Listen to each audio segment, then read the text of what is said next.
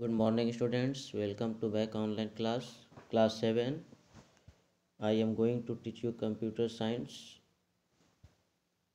students हम लोग computer science में chapter seven image in S D M L study कर रहे थे।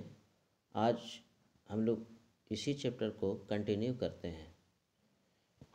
नाउ लेट्स स्टार्ट आज का टॉपिक है Here are few things to remember when trying to place image on your web page. अपने वेब पेज पर image को रखने की कोशिश करते समय याद रखने वाली कुछ बातें हैं ओके तो चलिए हम लोग इस टॉपिक्स को कंटिन्यू करते हैं। इसका क्या क्या पॉइंट होता है? जब हम लोग किसी वेब पेज ब्राउज़र में जब हम लोग इमेज को इंसर्ट करेंगे तो किस किस टॉपिक पर ध्यान रखना है।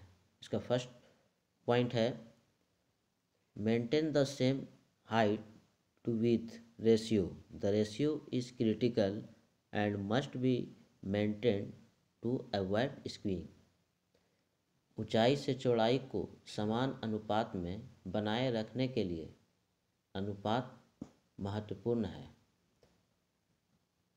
Always scale down the image as the larger image, always scaled down nicely by the browser.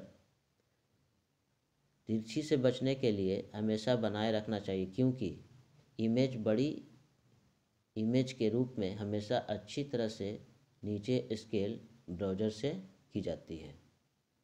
Third इसका पॉइंट है इफ़ नो हाइट और width attribute is specified inside the image tag. The browser will use the actual dimensions of the image file to display the image. This can cause problems with the uh, page layout. layout. If the picture file is too large, other HTML elements will be moved further down on the page. अगर कोई ऊंचाई या चौड़ाई विशेषता image tag के अंदर निर्दिष्ट नहीं है तो ब्राउज़र इमेज को प्रदर्शित करने के लिए इमेज फ़ाइल के वास्तविक डायमेंशन का यूज़ करेगा। यह पेज लेआउट के साथ समस्या पैदा कर सकता है, यदि इमेज फ़ाइल बहुत बड़ी है, क्योंकि अदर एच एलिमेंट पेज पर होंगे। Okay now next point a browser begins rendering HTML components. It handles them one after another in sequence before it can move from one element to the next element. The browser needs to know the size and shape of an element. If this information is provided in the tag, one less step will be taken by the browser which result in the faster page loading. एक browser H component को प्रदान करना शुरू कर देता है। यह एक के बाद एक सीक्वेंस में उन्हें संभालता है। इससे पहले कि यह एक एलिमेंट से अगले एलिमेंट तक जा सकता है। ब्राउज़र को किसी एलिमेंट के आकार और आकार को जानने की आवश्यकता है। यदि यह जानकारी टैग में प्रदान किया गया है, जो ब्राउज़र द्वारा एक कम कदम उठाया जाएगा, जिसके परिणाम स्वरूप तेज पेज लोड हो रहा है। तो ये सारी जो टिप्स है, ये सारी जो थिंग्स है, इन सारे थिंग्स को हम लोग को याद रखना होगा। तभी हम लोग वेब पेज पर किसी भी इमेज को इंसर्ट कर सकते हैं और वो ब्राउज़र इस इंसर्टेड इमेज को वो रन करा सकती है। ओके? तो now next topic spacing H space and V space तो स्पेसिंग क्या होता है?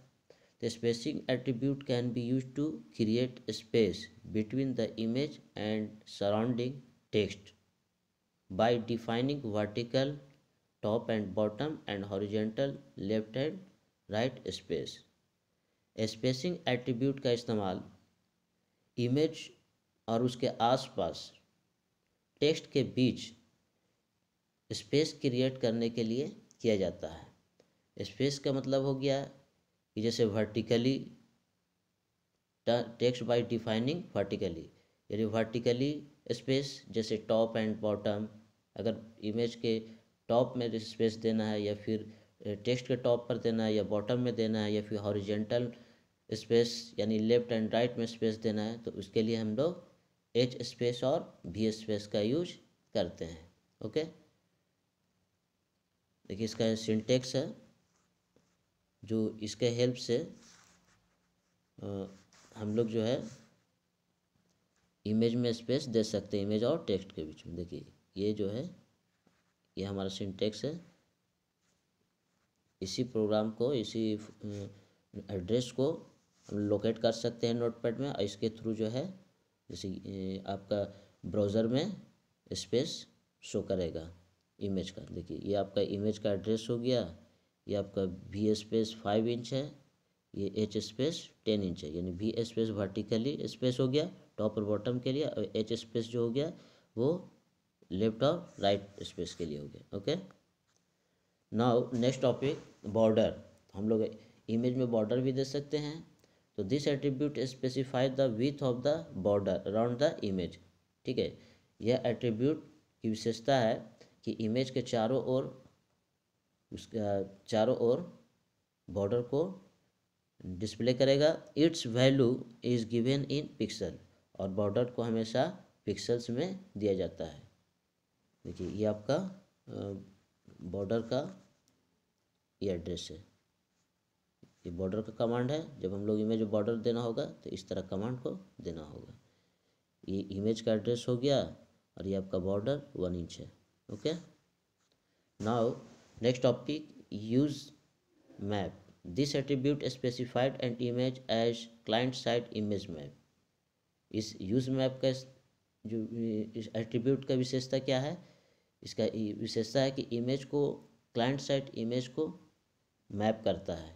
यानी उसका इमेज का नक्श जो साइड में किस तरह का इमेज आपने इंसर्ट किया है, उसको शो करता है okay now next topic adding border to the image अब हम लोग सीखेंगे कि इमेज में बॉर्डर को कैसे ऐड करते हैं। तो by default image will have a border around it ये डिफ़ॉल्ट में आता है कि इमेज के इसके चारों ओर बॉर्डर होता है। If we can specify border thickness in terms of pixels using border attribute हम लोग किसी भी इमेज के बॉर्डर की थिकनेस को टर्म्स को स्पेसिफाई करते निर्धारित करते हैं पिक्सल्स के द्वारा। ओके और इस पिक्सल्स का जो टर्म्स होता है, वो बॉर्डर एट्रीब्यूट का इस्तेमाल करके कर सकते हैं। A thickness of zero means अगर उसका थिकनेस ज़ीरो है तो no border around the picture इसका मतलब है कि पिक्चर के चारों तरफ़ किसी तरह कोई बॉर्डर नहीं इंडिकेट कर रहा यानी बॉर्डर वो डिस्प्ले नहीं करेगा। अगर उसका थिकनेस ज़ीरो रखते हैं तो उसका थिकनेस भी देना मस्ट होता है बॉर्डर का। ओके तो देखिए, ये आपका, ये कोड हो गया। The code is as follow देखिए, ये ये आपका टेक्स्ट एडिटर नोट है। इसमें इमेज को इंसर्ट करने के लिए, उसमें बॉर्डर देने के लिए इसका स्पेस देने के लिए सारा कमांड हम लोग इसी टेक्स्ट एडिटर में टाइप करते हैं ओके नाउ नेक्स्ट है now save the notepad file the output will be display as given value उसके बाद जब हम लोग सारा फॉर्मेलिटी को पूरा कर देते हैं नोट पैड में, सारा कमांड को टाइप कर देते हैं, उसके बाद उस नोट पैड को सेव करते हैं। सेव करने के बाद फिर उसको ब्राउज़र में रन कराते हैं। तो ब्राउज़र में जब रन कराते हैं तो इस तरह का जो है इमेज आपका ब्राउज़र में डिस्प्ले करेगा। देखिए, ये सारा इमेज है। इसमें सारा देखिए ये सब बॉर्डर भी दिया हुआ है। ये चारों तरफ़ से ये बॉर्डर है, इसका ये बॉर्डर है, इसका ये बॉर्डर है। तो इस तरह का इमेज आपको ब्राउज़र में रन करेगा। Now next topic alternative text alternative text क्या होता है? इसको समझ लेते हैं।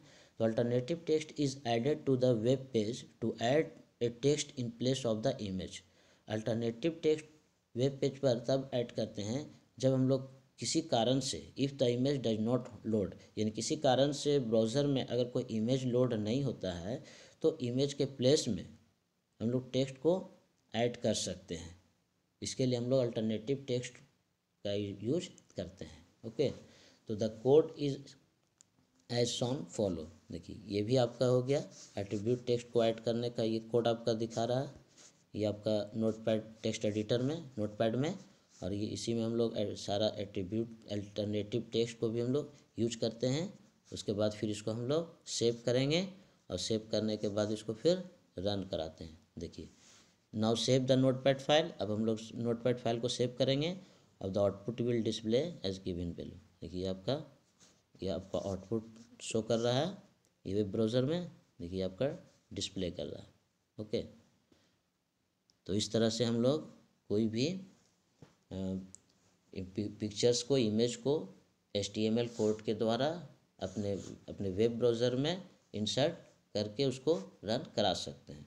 तो ओके स्टूडेंट्स तो चैप्टर सेवन हम लोग का कंप्लीट हो चुका है और इसका, इस चैप्टर से रिलेटेड इसका एक्सरसाइज का क्वेश्चन आंसर का पीडीएफ